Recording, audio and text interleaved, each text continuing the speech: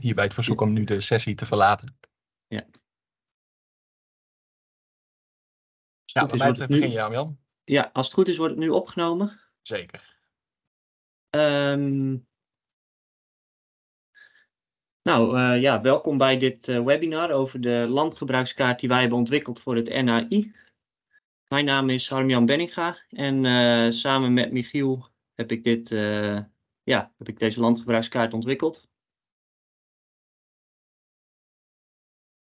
Ehm, we beginnen zo meteen met een, ehm, oh, met een presentatie over de achtergrond van het project en een beschrijving van de methode die we hebben toegepast.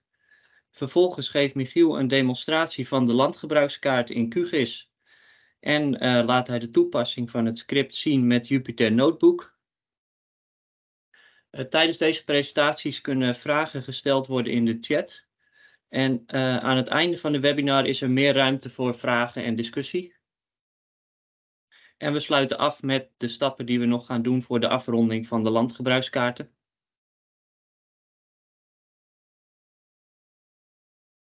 Het ontwikkelen van de landgebruikskaart is onderdeel van het grotere project voor het NAI eh, op het gebied van de onverzaagde zone.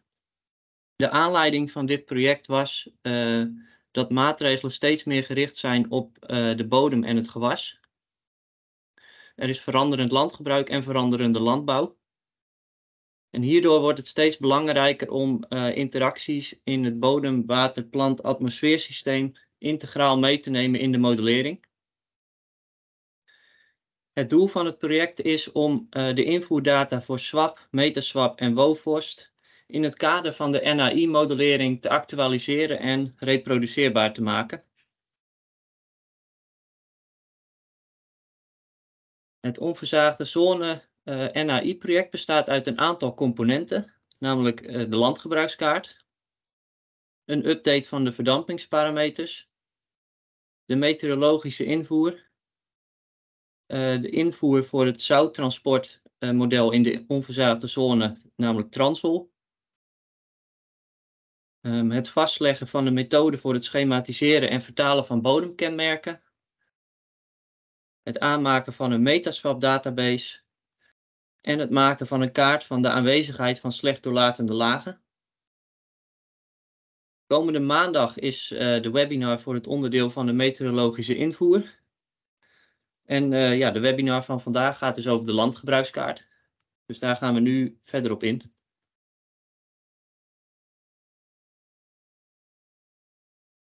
Het doel van dit onderdeel van het project was om een uh, landgebruikskaart te ontwikkelen die als invoer kan dienen, voor Metaswap, Swap en WOFORST. Dit wordt gedaan met een uh, geautomatiseerde procedure die reproduceerbaar is met een Python script. Uh, ja, ook leveren we een handleiding erbij, zodat toekomstige gebruikers dit script ook kunnen toepassen. En daarin eventueel andere keuzes kunnen maken voor het ontwikkelen van andere landgebruikskaarten. Voor de ontwikkeling van de landgebruikskaart zijn de volgende uitgangspunten gehanteerd. Er is gebruik gemaakt van basisregistraties en andere openbaar beschikbare data. De tool wordt open source beschikbaar gemaakt. De ruimtelijke resolutie van de landgebruikskaart is een halve meter bij een halve meter. En, er wordt jaarlijks, en hij wordt jaarlijks beschikbaar uh, vanaf 2010 tot en met 2021. Verder is de landgebruikskaart beschikbaar voor heel Nederland en voor een bufferzone van 50 kilometer in het buitenland.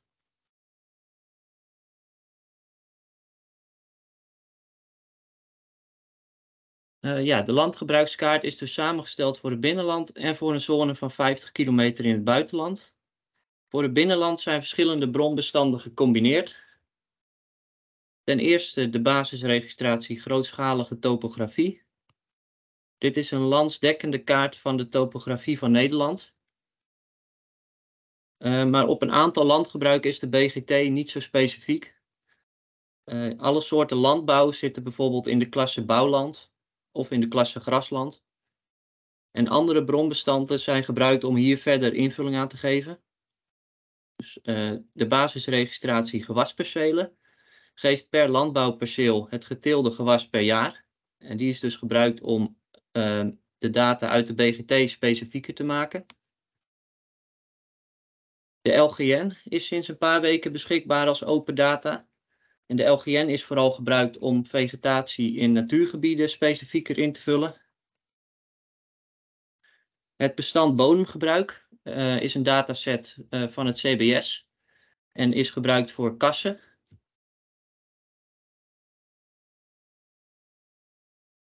En voor het buitenland is Corine gebruikt. Dat is een Europese dataset die uh, ja, voor heel Europa beschikbaar is.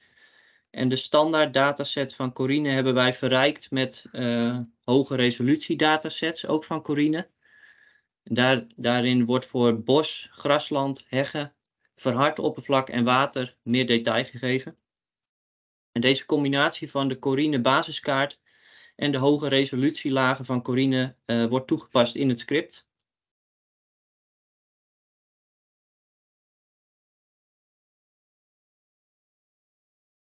De landgebruikskaart wordt samengesteld uh, vanuit deze bronbestanden met een Python script. In dit Python script zijn de volgende stappen gebruikt. Het inlezen van de brongegevens, dus van de vorige pagina. Uh, deze brongegevens hebben wel enige voorbewerking nodig, zoals het omzetten van polygonen naar een raster van een half bij een halve meter en het goed zetten van coördinatenstelsels. Dus dat wordt in deze stap gedaan. Vervolgens worden de brongegevens gecombineerd tot een landgebruikskaart. In deze landgebruikskaart zijn alle klasses nog aanwezig die ook in de originele bronbestanden aanwezig zijn. Dus dit wordt uh, in deze stap omgezet naar invoerbestanden voor Metaswap, want dat zijn minder landgebruiksklasses. En als laatste stap worden de resultaten weggeschreven.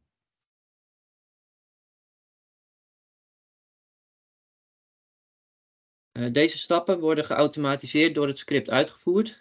En uh, later in het webinar geven we een demonstratie van dit script. De brongegevens hebben we voor dit webinar meegeleverd voor een klein gebied. Maar voor een toepassing over, voor een ander gebied of voor heel Nederland uh, moeten gebruikers wel zelf de brongegevens downloaden. De voorbewerking die vervolgens nodig is, zit wel in het script. De pixelresolutie van een half bij een halve meter uh, levert een enorm grote hoeveelheid data op. En het is niet praktisch om, uh, ja, om, om de landgebruikskaart als één geheel voor heel Nederland in één keer uit te voeren. Daarom hebben we Nederland en de bufferzone opgedeeld in tegels van 5 bij 5 kilometer. Zodat het uh, handzamer wordt. En het script werkt vervolgens te maakt tegel voor tegel een landgebruikskaart aan. Daarnaast bevat het script uh, functionaliteit om, uh, om dit op te schalen naar heel Nederland. Dus dat alle tegels achter elkaar worden uitgevoerd. En om, om dit in een pool, dus meerdere processen tegelijk te laten uitvoeren. Op dit kaartje uh, zie je de tegels. Voor het grijze gebied wordt geen landgebruikskaart ontwikkeld. Voor het gele gebied um, wordt een landgebruikskaart ontwikkeld. En hier zie je ook de 50 kilometer bufferzone. En het blauwe gebied, uh, dat is volledig water. Dus daar is het op zich makkelijk.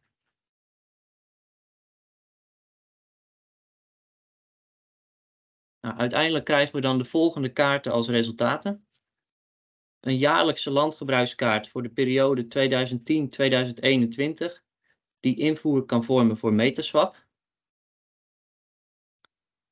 Uh, ter inzicht in deze eerste kaart leveren we ook de kaarten op um, met het landgebruik voor de pixels van een half bij een halve meter, waaruit deze Metaswap kaarten zijn ontwikkeld. Dus waarin uh, de oorspronkelijke landgebruiken vanuit de BGT, de BRP, de LGN, etc. zijn weergegeven.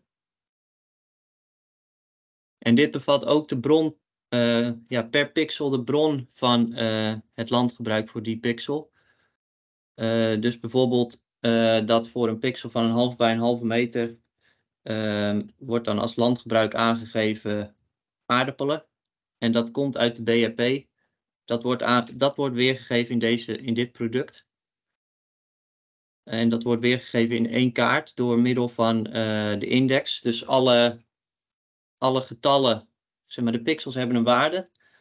En alle waardes van 1001 tot 1000 zoveel is, uh, geeft aan dat, het een, dat de bron de BGT is.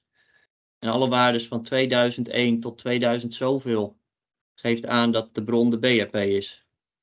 Dus op die manier kun je altijd achterhalen wat de bron van een uh, landgebruik is in een bepaalde pixel. En tenslotte wordt een metadatakaart opgeleverd van waar het land, in welke pixels uh, het landgebruik geïnterpoleerd is en in welke pixels dat niet, is zo, niet zo is. Na de combinatie van alle brongegevens zijn er namelijk nog pixels waarvoor nog geen landgebruik is gedefinieerd. En deze zijn geïnterpoleerd op basis van omliggende pixels. Nou, en dat wordt dus weergegeven in deze laatste kaart. En verder worden uh, de Python-code opgeleverd en een handleiding in de vorm van een Jupyter Notebook.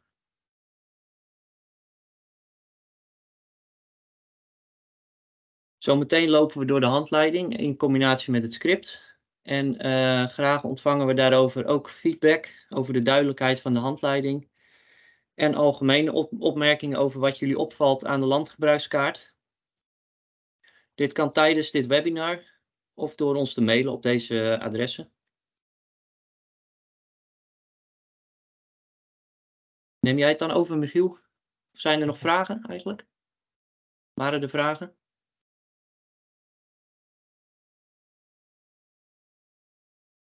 Zie nog geen vragen uh, voorbij komen. Zou, zou je misschien nog even naar de vorige slide willen gaan, Jan? Uh, kijk, ik zal zo de kaart laten zien. Uh, het zal jullie vast wel opvallen dat ehm, ja, we hebben ook een aantal keuzes moeten maken in welke kaart kiezen we nou uh, of prioriteren we boven een andere kaart. En dat is eigenlijk ook het mooie van deze uh, methodiek, is dat mochten jullie het als modelleur niet eens zijn met die keuze, dat jullie dus zelf met dit script bezig kunnen om jullie eigen keuzes door te voeren. Dat is juist de gedachte van uh, het reproduceerbaar en geautomatiseerd kunnen afleiden van die kaart. Uh, ik zie ondertussen een vraag langskomen. Kijk hoor. Tristan, je zegt ze kan het product downloaden per 5 bij, per 5 bij 5 kilometer tegel. Begrijp ik dat goed? Nou, daarover zijn we nog in conclave. Het, het product wordt, wordt, aangeboden via het nieuwe NAI dataportaal. Ehm, en als het goed is, kan, daar, hebben zij daar wel functionaliteit om in één keer de hele kaart te, te tonen en te downloaden. Um, ja. Het is alleen, uh, Tristan, er zit dus ook functionaliteit in om hem op een andere ruimtelijke resolutie op te halen. Want om heel Nederland op een half bij half binnen te halen. Punt 1, ik denk dat dat voor grondwatermodellering niet per se nodig is. Nog niet. En twee, uh, ja, ik, ik heb zo niet de getallen, maar voor mij is dat uh, 300, 400 gigabyte aan data. Kijk ook even naar Jan, dat nog scherp hebt. Ja, volgens mij ook zoiets, ja. Ja, en een opgeschaalde versie, uh, in theorie kan je de hele EU erin stoppen. Uh, ja. Uh, dat zou inderdaad kunnen, ja. Ja, ja want dat kan met die Corine. Beantwoord je daarmee je vragen? Ja, top. Kijk, volgende vraag van Gerry. Uh, voor data van 2022 en recente moet ik het script nog zelf runnen. Uh, en dat zal afhankelijk zijn van de actualiteit van de onderliggende bronnen wellicht. Uh, nou, we leven voor de periode 2011 tot... oh, alleen 2020 bedoel je. Even kijken, voor de data van 2022 en recente. Ja, ja in principe levert het op voor 2021, Gerry, tot en met 2021. En de reden was dat tot recent de, de nog niet beschikbaar was voor vorig jaar. Uh, dus ja, dat zou uitgevoerd kunnen worden nu. Voor mij is die inmiddels wel beschikbaar. Ja, ja de vraag is, is dan misschien uh, anders. Is dit een product wat, wat ook jaarlijks wordt, wordt, wordt uitgebreid aangevuld? Of moet, de, moet de gebruiker zeg maar, dat zelf dan gaan organiseren? Um, ja, dat zit volgens mij niet meer in onze opdracht. Dus ja. Nee, oké. Okay. Maar met, met dit script zou je zelf in staat moeten zijn om, uh, ja. Uh, ja, om het op basis van nieuwe bronnen, recentere bronnen, zeg maar, ook voor recentere jaren te, te runnen. Zeker. Ja, zeker. Dat is een van de doelen dat we, ja, waarom we het script opleveren. Ja, precies. Ja. En de handleiding. Uh, dus er is wel enige programmeerkennis vereist. Uh, maar ja, het is ook niet dat je een uh, Diehard module of uh, Python kennis moet hebben, denk ik. Maar goed, Ja. we lopen zo door de handleiding heen, dus dan kun je dat zelf beoordelen. En misschien Ja. heb je daar nog tips Maar bij. eh. goed om te melden dat vanuit eh NAI zelfs voornemen om het jaarlijks te updaten. Dat is in ieder geval het voornemen. Oké. Even kijken, dan zie ik nog een vraag van Tristan. Wellicht standaard dan van 25 bij 25 meter en 250 bij 250 meter voor het LAM. Ja, daar laat ik zo twee voorbeelden voor zien, dus helemaal mee eens. Ja, nou, ik denk eh, het is nu tijd om de kaart te bekijken en dan na mijn deel eh, nou ja, is- er nog ruimte voor vragen slash discussie. Ehm, nou, ik denk dat het ook goed is om mezelf nog even voor te stellen voor degenen die mij niet kennen. Mijn naam is Michiel Pezi, werkzaam bij AKV als hydroloog. ehm, en samen met Harm-Jan dus gewerkt aan dit product wat, wat hij net gepresenteerd heeft. Dan ga ik het scherm van je overnemen, Harm-Jan. Even kijken. Als het goed is zien jullie nu mijn, eh, mijn scherm waar ik eh QGIS heb geopend. Ehm, en de titel van dit project is voor, figuur voorkant presentatie. Dus dit is dezelfde kaart als net op de voorkant van Harmjans, eh of de eerste slide van Harmjans presentatie. Ehm, en ik noemde net al, het is, het is best wel een grote, grote dataset. Dus ik heb voor dit webinar een uitsnede gemaakt voor Twente. Ik zal even iets inzoomen of uitzoomen. Eh, omdat anders eh, in combinatie met Teams mijn laptop eh, vastloopt. Maar we hebben de kaart wel op heel, voor heel Nederland beschikbaar. Ehm, nou, we hebben een aantal kaarten die ik jullie wil laten zien. Dit is in principe de kaart die uit onze procedure komt op een half bij half meter. Dus je ziet hier, ehm, ik kan wel even de laag openklappen. Zie je een heel aantal klassen in, deze, in dit raster. Ehm, met elk een getal of, of een ID. En zoals Hamjan net vertelde, als het een duizendtal is, dan eh, komt die klas uit de BGT. eh, een tweeduizendtal uit de BHP, et cetera, et cetera. Ehm, en ehm, even kijken hoor. Ja, je ziet hier dus met name of, het gebied Twente, hier Almelo, Hengelo en Enschede, met een deel buitenland erin. En we hebben dus in deze kaart nog voor gekozen om de originele klasse van elke bron dataset aan te houden. En we maken vervolgens een klassificatie naar de meterschapklasse in, een, eh, in het eh, definitieve eh, raster dat opgeleverd wordt. Nou, op, dit detailniveau zie je niet zo heel veel, dus ehm, ja, ik wil eigenlijk inzoomen op één of meerdere plekken. Ehm, en als ik dan inzoom, dan zie je dat er dus inderdaad veel meer details zit dan in de uitgezoomde versie. Hè. Dus hier zie je als voorbeeld de splitsing van het Twente-kanaal ehm, in deze blauwe kleur. Ja, en even de laag weer dichtklappen. Ik kan wel heel even kort deze laag uitzetten. En eh, de, de, nou, zeg je dat? De satelliet, een satellietbeeld eronder leggen. Dan zie je inderdaad, hè, hier zie je een, eh, het Twente-kanaal, een aantal boerderijen, boerderijen gaslanden, agrarische landen. En daar kun je dan de laag vervolgens overheen weer plotten. En dan zie je dat, nou ja, dat dat goed bij elkaar aansluit. Ehm, jullie denken misschien, wel, ik zie wel heel veel oranje kleuren. Nou, ik heb voor nu even alle gewassen die in de BEP zitten een oranje kleur gegeven. Eh, want daar zitten meer dan 300 klassen in. En dat is nou ja, niet echt heel mooi te, te visualiseren. Ehm, nou, dit is dus op een half bij een half meter. Ehm, heel even kort een voorbeeld van eh, die keuzes die we dan gemaakt hebben voor, een, eh, voor deze eh, kaart. Ehm, en dat zie je bijvoorbeeld hier bij deze brug over het, eh, het kanaal. En daar, die gegevens komen uit de BGT. Ehm, maar daar liggen dus meerdere, eh, eigenlijk als het ware meerdere lagen uit de BGT over elkaar. Waaronder het waterdeel en eh, de spoorlijn. En wij kiezen, hebben ervoor gekozen om eh, ja, eigenlijk hetgene, de laag te kiezen die altijd zo dicht bij Maaiveld ligt.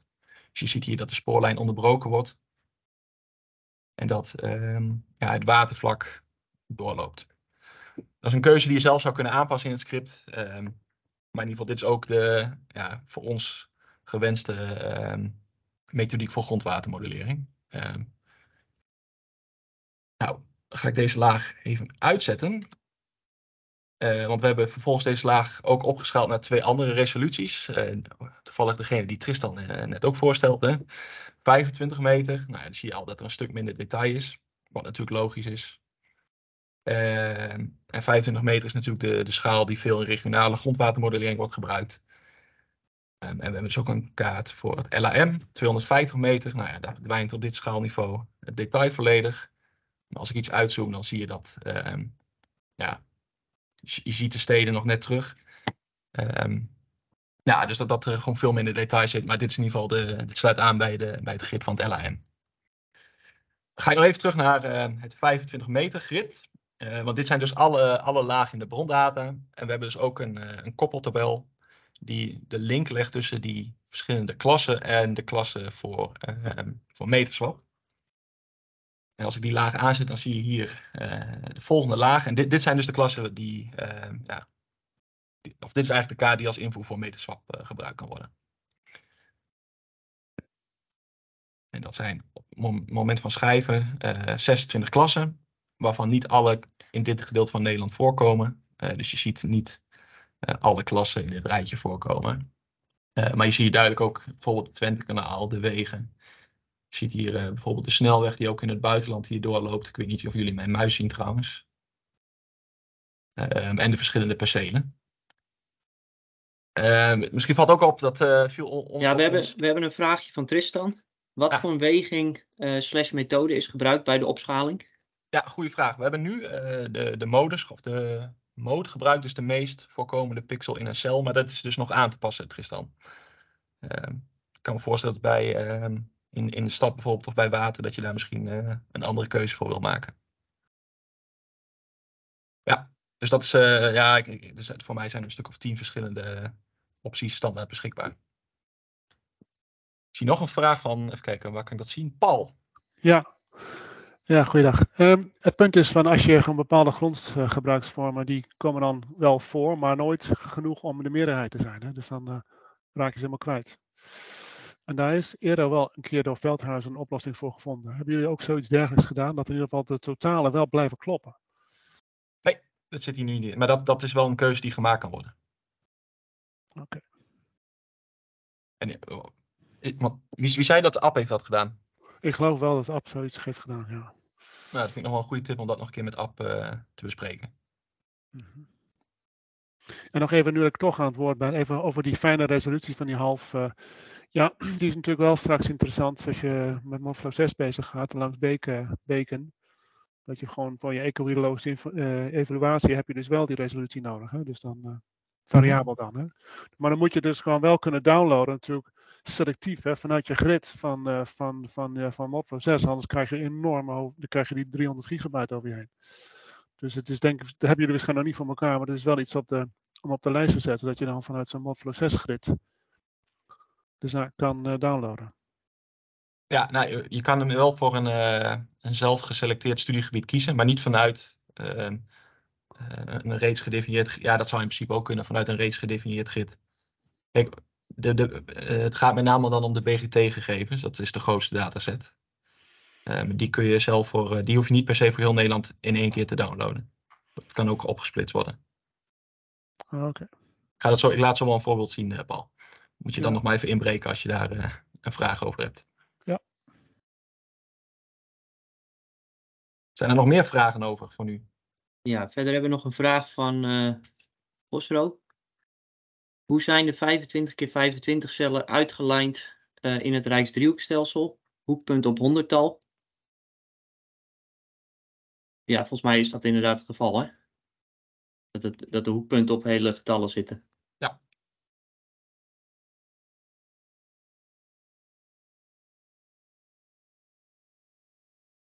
Beantwoord dat je vragen, Gosro?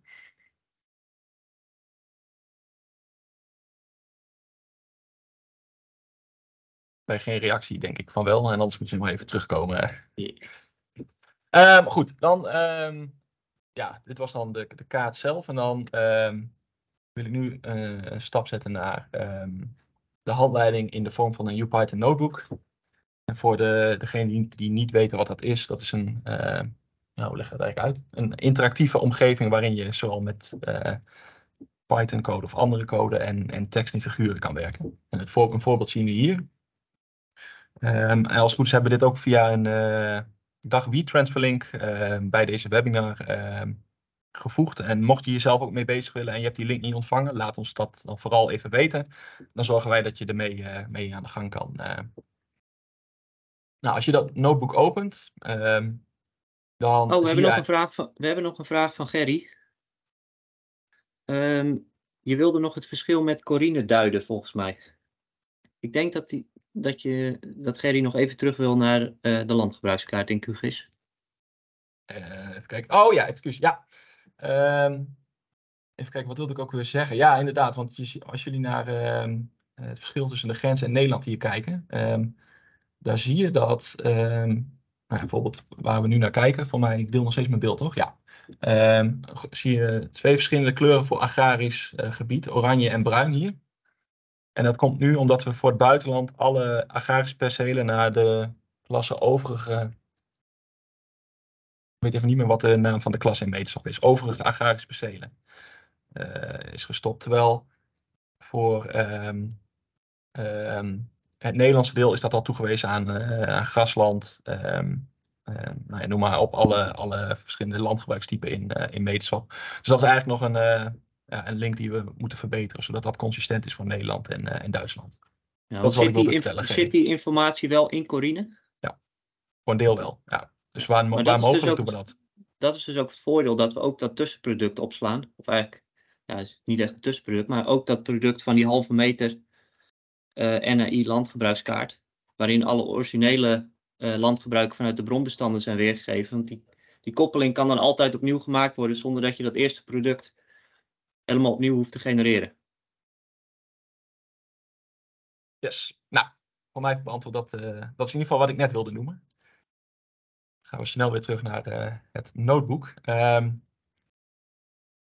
ja, het is misschien goed om te noemen dat er meerdere, meerdere notebooks opgeleverd worden binnen het Onverzadigde Zonneproject. Eh waaronder mijn collega Ruud, die maandag dus over het meteorologische invoergegevensdeel zal spreken. Die gebruikt eenzelfde opzet, waarin hij dus een UPython notebook gebruikt om eh, uit te leggen hoe je de code kan gebruiken eh, voor je modellering. En we hopen dat die notebooks ook consistent zijn. We gaan ervan uit dat die consistent zijn, hè, Ruud. Excuus.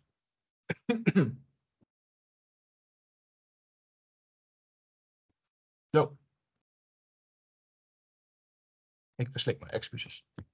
Eh, nou, een notebook bestaat eigenlijk uit een eh, opbouw van verschillende aspecten. We hebben kort lichten we ook toe een aantal zaken toe, wat eigenlijk Hamjan net ook heeft toegelicht. Hè. Wat is nu de achtergrond van het project eh, en de brongegevens. En we, laten ook zien hoe dit script nu geïnitialiseerd kan worden. Ehm, ja, vervolgens lichten we het een en ander toe over hoe je bestandspaden dient te definiëren. Ehm, en hoe wij omgaan met de selectie van de tegels die allemaal niet zien. Hè? Dus die tegels van ehm 5 bij 5 kilometer. En in dit notebook laat ik vervolgens zien hoe we dan voor één tegel de landgebruikskaart creëren. Ehm, en ik ga niet de functionaliteit voor meerdere tegels aanzetten, want dan loopt mijn eh, laptop eh, vast, denk ik, als ik dat samen met Teams doe. Ehm, het werkt in principe prima op mijn laptop hoor, maar het is gewoon meer de combinatie met Teams wat eh, in de test vanochtend niet helemaal goed ging. Ehm, en tot slot wil ik ook even langs een aantal zaken in het script gaan die, die aangepast kunnen worden. Ehm, ja, ik ga er nu doorheen lopen en mocht het te snel gaan, geef vooral even een schreeuw, dan eh, ja, kom je erop terug. Nou, de introductie daar noemen we met name even de achtergrond die Hamjan net ook al verteld heeft. Dus daar ga ik nu wat sneller doorheen. Ehm, dit figuur liet uh, Hamjan net ook zien. Ehm, en vervolgens gaan we per uh, type brongegevens, hè, dus de BGT of de BRP, et cetera, noemen kort wat die kaart nu precies is en waar we die kunnen downloaden. Dus nou, hier hebben we dan een, uh, voor de BGT verwijzing naar de, uh, de PDOC website, waar de website of waar de, de dataset te downloaden is. En om even terug te komen naar Paul's uh, vraag. Ja, je kan niet precies een, een git voor Modflow opgeven voor mij, maar je kan dus wel een uh, gebied selecteren waarvoor je de data wil, wil downloaden. Zodat je dus inderdaad niet um, heel, down, heel Nederland hoeft te, te downloaden. Um, en ja, eigenlijk de, zodra je de download binnen hebt, is het bestand meteen te gebruiken in dit script. Dus dan zijn er verder geen handmatige bewerkingen nodig.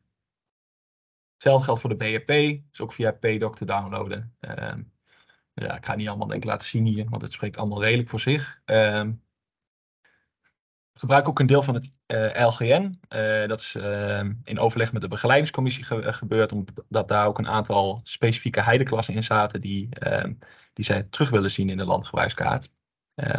en die eh, worden in het LGN via Sentinel-2 satellietbeelden afgeleid. Ehm Corine, dat is dus de, de, de Europese dataset, of de dataset die we gebruiken voor eh, landgebruik in het buitenland. Daar dienen eigenlijk twee verschillende eh, soorten gegevens gedownload te worden. Dat is het eh, originele Corine. Dat is met de, de, de eerste link die ik hier, eh, waar ik mijn muis nu op heb. En zoals Hamjan net zei, verrijken we die dataset met een aantal hoge resolutie lagen.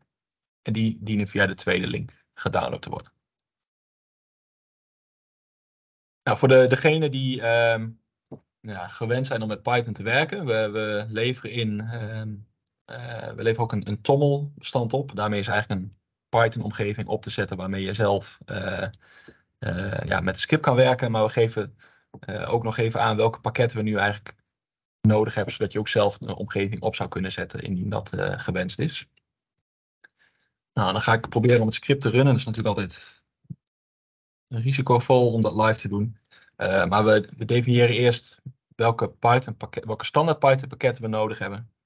En vervolgens lezen we ook onze eigen functionaliteit of onze eigen ontwikkelde functionaliteit in. Ehm, daarnaast lezen we ook een bestand in waarin alle verwijzingen naar de bestanden staan die we gebruiken. En dat heet in dit geval settings.webinar.txt. Ehm, maar dat is ook naar wens aan te passen. En ik zal hem even openen hier in UPython Notebook. Het ziet er niet heel mooi uit, maar ehm, ja, in principe dien je hier dus ehm, bijvoorbeeld, eh, nou, noem maar wat, het, eh, de verwijzingen naar de, de, de BRP kun je hier aanpassen. De verwijzingen naar de, de BGT. Ja, maar dat eerste stuk heb je als het goed is niet nodig. Daar hoef je als het goed is geen aanpassingen in te doen. Precies. Pas vanaf regel 25 eh, moet je zelf dingen aanpassen. Goed punt, Arjan. Dus inderdaad, eh, je hebt eigenlijk alleen, we hebben de, de aanpassingen tot aan, of de regels tot aan regel 24. Die zijn al, ehm, ja, dat staat vast. Daar zou ik niet te veel aan veranderen. En vanaf regel 24, dat zijn eigenlijk de, de, ehm, ja, de, de, de regels die aangepast kunnen worden. Ehm, daar kom ik aan het eind van de presentatie nog even op terug. eh. Nou, dat bestand eh, laden we in. Ik ga niet helemaal door alle tekst lopen, maar gewoon eh, praten door, het, eh, door de handleiding heen lopen. Ehm, nou, dit is een, eh, een weergave van dat settingsbestand, maar dan ingelezen in het script. En vervolgens maken we alle benodigde mappen aan. Die zie je hier links, die heb ik al eerder eh, even voorbereid. Ehm, je hebt een map waarin alle brongegevens opgeslagen moeten worden. Dus dan heb ik het over BGT, BRP, et cetera. Een map voor figuren. En dat gaat met name om de, de logo's die bovenaan eh, eh, het script staan. De koppeltabellen, waarin we dus de link leggen tussen de brongegevens en eh, de meterschapklassen. Een map NAI landgebruik, waar eigenlijk alle Python scripting in staat die we zelf ontwikkeld hebben. En een resultaatmap. En daar staan eigenlijk, ja, daar worden alle rasters in, in weggeschreven die, ja, die je nodig hebt om, of eigenlijk de, het resultaat van het script. Dus dat zijn de, de landgebruiksrasters. Ehm, ja, dus nou ja, die heb ik al gerund uiteraard. Ehm, vervolgens kunnen we dan de tegels selecteren. En voor dit webinar hebben we dus een, eh, selectie gemaakt van de tegels, eh, zodat je ja, snel een beetje kan, kan werken met het script. Ehm, en allereerst plotten we die tegels. Om te kijken van ja, naar welk gebied kijken we nu. En hier zie je dus dat die tegels van 5 bij 5, eh, hoe die verdeeld zijn over ehm, nou, een deel van regio Twente in dit geval. Ehm, en ja, het lijkt alsof ze niet helemaal recht staan, dat ze een beetje schuin geprojecteerd zijn, maar dat komt door de, de OpenStreetMap eh, projectie. Zo. Nou, vervolgens gaan we alle bewerkingen ehm, voeren we uit. En ehm, dit gebeurt in principe op de, de achtergrond van, ehm, eh, van het script. Eh, maar ik laat één voorbeeld, heb ik even, even naar voren gehaald. Dat is namelijk de BGT. Want daar laat je allerlei verschillende lagen in. Eh, bijvoorbeeld een, een, een pannendeel, een wegdeel, een waterdeel. Ehm, en ja, wat het script doet is dat ja, de, de gedownloade bestanden worden dus automatisch omgezet naar eh, info die we kunnen gebruiken in dit script. Dus dat heb ik vanochtend al gedaan, want dit duurt even een paar minuten. Ehm, En je ziet dat dus die bestanden al bestaan, of de verwerkte bestanden, die, eh, ja, die hebben we nu al, eh, al verwerkt. Ehm, en vervolgens kunnen we dan voor één tegel de landgebruikskaart genereren. Ehm, en dat ga ik zo aanzetten, maar ik ga eerst even de handleiding verder afmaken, want ik ben bang dat mijn laptop vastloopt als ik dat in combinatie met Teams doe. Vervolgens kunnen we dan, ehm, nou ja, voor één tegel, daar wordt dan een raster voor opgeslagen. Dat is het, land, landgebruik en die kunnen we dan inlezen als check. Eh, en als we dat dan eh, inlezen en plotten, ehm, dan duurt dat even omdat dat een resolutie van een half bij een half meter eh, is. Ehm, ja.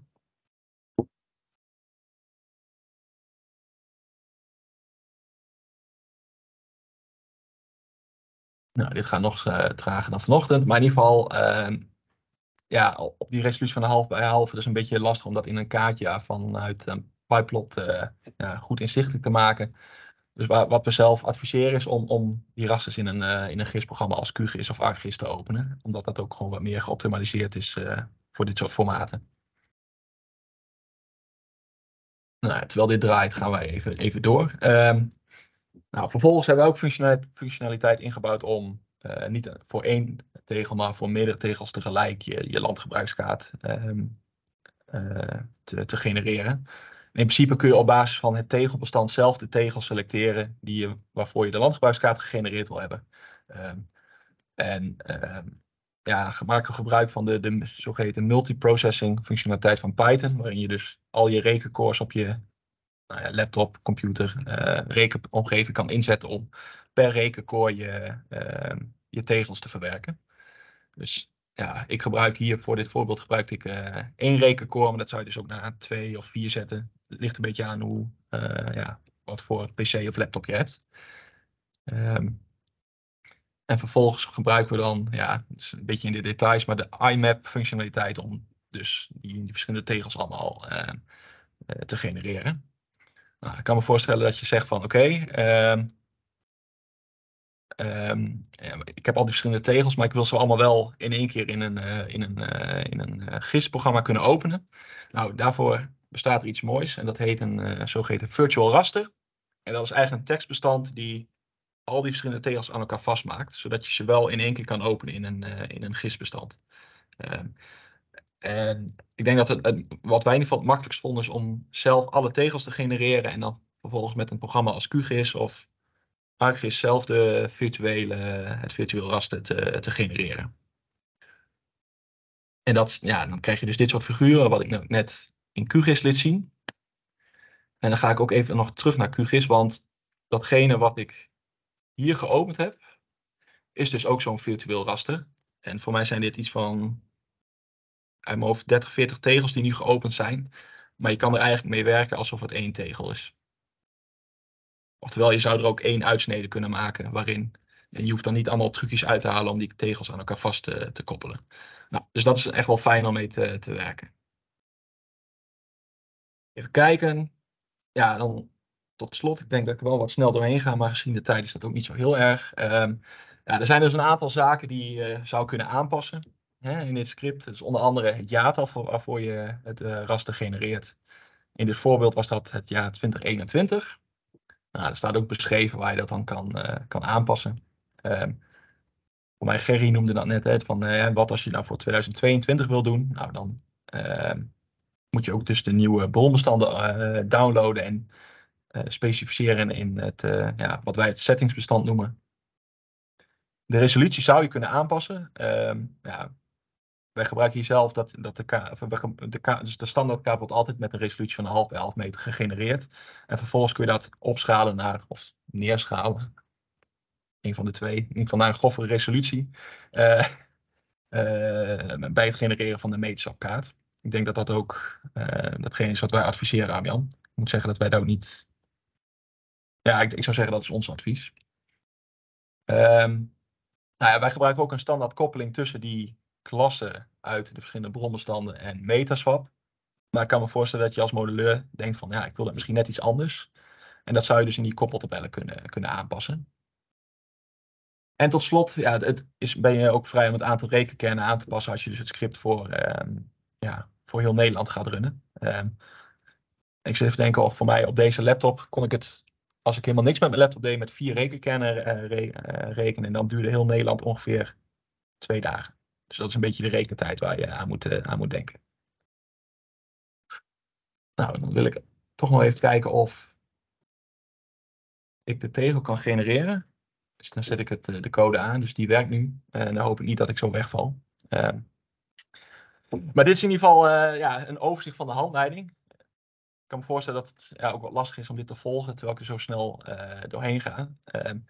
Dus ja, mocht je geïnteresseerd zijn om er verder eh, in, meer, detail naar te kijken, ga dan vooral naar, eh, ja, naar de stukken kijken die we rondgestuurd hebben. Of vraag ons of we die rond willen sturen. Dus dat is eigenlijk de, eh, ja, een overzicht van de handleiding en, de kaart die we hebben gegenereerd. Ik zag een aantal vragen of opmerkingen in de chat. Ik weet niet, Harmjan, of jij die al beantwoord hebt. Ja, volgens mij heb ik ze beantwoord. Maar ik zie nu ook een nieuwe vraag van Wouter Zwierstra. Hoe lang duurde het downloaden van de basisdatagrids op een half bij een half voor heel Nederland? Ehm, Ja, het downloaden zelf valt op zich nog wel mee. Maar het gaat meer om het uitpakken van, eh, van met name de BGT. Dat is het meest kritisch. Ja, hoe lang duurt dat? Dat is Ja. wel een goede vraag. nou, maar die download je dus niet op een half bij een halve meter resolutie. Want de BGT bijvoorbeeld, dat zijn polygonen. Dat, dat is geen raster. Ja. Eh, ja, dat, dat duurt wel een tijdje om dat te downloaden voor heel Nederland. Ik weet niet. Ja, Jij hebt dat gedaan, hè? Dus Ja, jij weet dat het best. ik dacht dat dat bestand iets van 30 gigabyte was. Of zo. Als zip. Dus, Ja, dat is wel redelijk wat, ja. Ja, het is niet dat je heel veel langer bezig bent met het downloaden dan het runnen van het script, zeg maar. Dus ik denk dat je, dat je net noemde van hoe lang je erover doet om, de, om voor heel Nederland te draaien. Maar stel dat je zoiets voor het hele MIPA-gebied zou draaien, willen draaien of zo. Vroeg ik me even af als je die data gaat downloaden, of, je dan, of dat ook niet gewoon een eh, substantiële eh, eh, tijd nog in beslag gaat nemen. Als je dat allemaal, als je het uiteindelijk op een half bij een half wil genereren. Maar het is sowieso al een goede opmerking dat bijvoorbeeld BGT inderdaad polygonen zijn. Dus eh, Ja, en daarbij ook nog de opmerking dat ehm, er wordt dus een jaarlijkse landgebruikskaart opgeleverd. Maar de BGT wordt ehm, niet gevarieerd. Die, die, ja, die downloaden we als actuele, ja, die download je hoe die nu is, zeg maar. En die wordt over alle jaren toegepast en de jaarlijkse variatie wordt ingebracht via de BRP en de LGN. En dat downloaden duurt sowieso niet zo lang, want die bestanden zijn niet zo groot.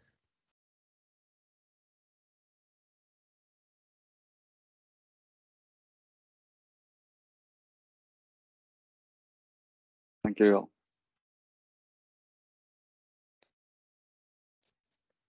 We hebben ook een nieuwe vraag van Willem-Jan Zaad-Noordijk. Voor diverse grondwatersystemen is de periode vanaf 2010 te kort om een goede kalibratie te kunnen doen.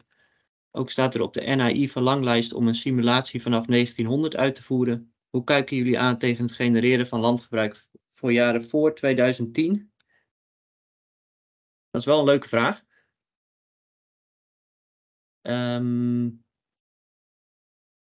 Volgens mij hebben we op dit moment niet de basisdata beschikbaar voor echt voor 2010. Ik weet eigenlijk niet vanaf welk jaar de BHP beschikbaar is. Maar ik dacht wel rond die periode ergens. En ja, bepaalde data zijn ze natuurlijk sowieso niet eh, tot heel lang terug beschikbaar. Dus zouden we moeten nadenken over hoe je dat kunt invullen. Ja, misschien is het go- goed om even te noemen dat ik denk dat je onderscheid moet maken tussen hoe dat praktisch of te- en technisch kan. Hè? Ik bedoel, Ja. praktisch Ja. is inderdaad beschikbaarheid van, van data of gegevens. Technisch is het denk ik redelijk eenvoudig met dit script. Hè? Omdat je zelf, als je nou, enige kennis hebt van Python, je kunt wel een beetje snappen hoe het script werkt, zou je de verschillende lagen aan en- of uit kunnen zetten. Want in principe branden we de verschillende lagen op elkaar heen. En daar gebruiken we de BGT als, ehm, eh, als basis. Ja, oké, maar dan wordt het dus wel de vraag van als je die BGT niet als basis zou willen gebruiken. Hè, maar bijvoorbeeld die CBS-bestanden, die gaan volgens mij wel verder terug. Ja. Zou dat eh, kunnen? Ja. ja, die flexibiliteit zit er op dit moment nog niet in. Maar goed, de, eh, met dit script als basis is dat wel eh, redelijk eenvoudig te doen. Oké. Ja, dat, eigenlijk hetgene wat je nodig hebt is een koppeltabel. Hè, dus die, die oude landgebruiksklasses koppelt aan nou ja, datgene waar je geïnteresseerd in bent. Ja. ja, maar op dit moment wordt de BGT echt nog als basis gebruikt. En dat moet je dan niet doen. Nee, daar zou je dan een keuze in moeten maken. Dat klopt, ja. ja, ja. Oké, dankjewel.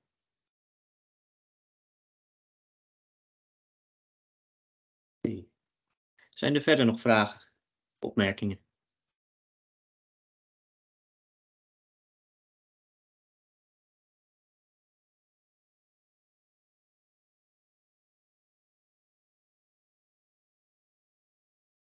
Waren er al mensen aan de gang geweest met het uh, Jupyter Notebook? Mensen al een poging gewaagd?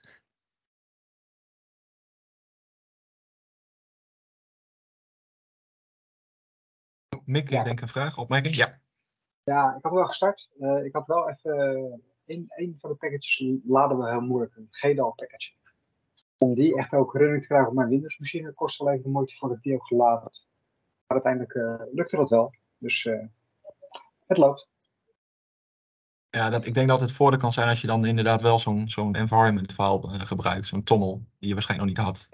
Dan moet het waarschijnlijk makkelijker gaan, maar dat eh, Nee, is meer een aanname dan een... eh, Ja, klopt. Want eh, ik had wel de environment file voor. Ja, de YAML is dan in dit geval. YAML voor, eh, voor aanstaande maandag. En die laden in één keer. En er zat GDAL ook weer in.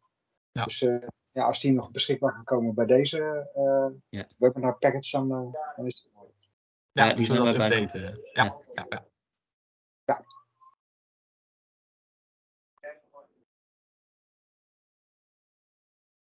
Edal is soms, dat is wel vaker, hè, dat dat wel een beetje gedoe levert bij installeren. Vandaar dat ik net nog de vraag stoot. Delta Forge, Del- Deltaris heeft zo'n eh, Mamba eh, install, hè, net zoiets als Conda, maar dan een Mamba install gemaakt die, die vrij soepel installeert. Dus die Delta Forge versie waar best veel packages al, al in eh, zitten. Mhm. Ehm, dus ehm, ja, misschien nog een tip of wat, wat, dat best handig zijn. Ik heb zelf die Delta Forge hebben misschien straks mensen die met ARM op Python werken ook allemaal op hun computer staan.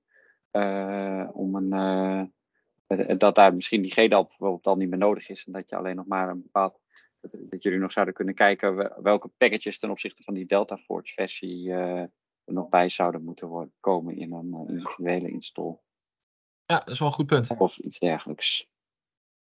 Want dat gebruiken jullie ook bij eh NAI grondwater, eh Wouter? Hetzelfde. Ah ja, dat is op zich goed Ja. om daar eh, Ja. consistentie in te hebben natuurlijk. Ja. ja, inderdaad. Ik weet niet of het dan ook voor Ruud bijvoorbeeld draait, dus dat zullen we dan wel moeten checken. Voor de andere werkpakketten in dit deel. Ehm, maar ja, meer consistentie daarin is denk ik alleen maar goed. Ah, komt het gebruiksgemak wel ten goede. Precies.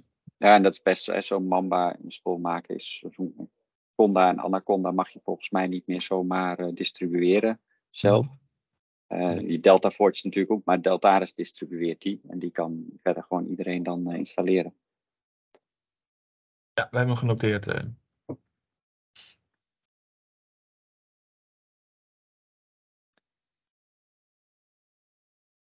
Ik denk dat we dan wel kunnen afronden. Ja, ja, mocht er toch nog vragen of opmerkingen zijn. ehm, ja, voor mij hebben jullie onze mailadres. Tenminste, jullie hebben in ieder geval het mailadres van Hamjan, denk ik. Dat zit in de uitnodiging, klopt dat? Weet ik eigenlijk niet.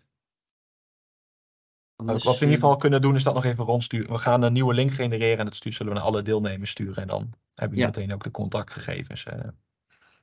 laten we dat afspreken.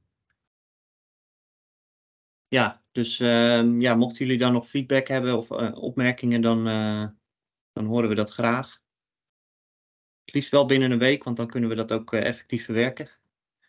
en eh, vervolgens eh, ja, gaan we de kaarten, scripts en handleiding ehm, beschikbaar stellen via het NAI dataportaal. En eh, ja, dan kunnen jullie ook zelf aan de gang met het script om eh, landgebruikskaarten samen te stellen.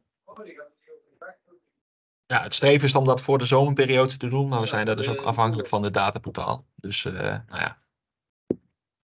Jullie zien het zo snel mogelijk verschijnen. Dank jullie wel.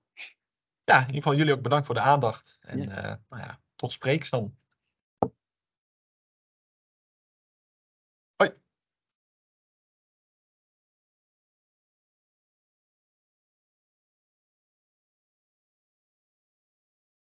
Tot ziens.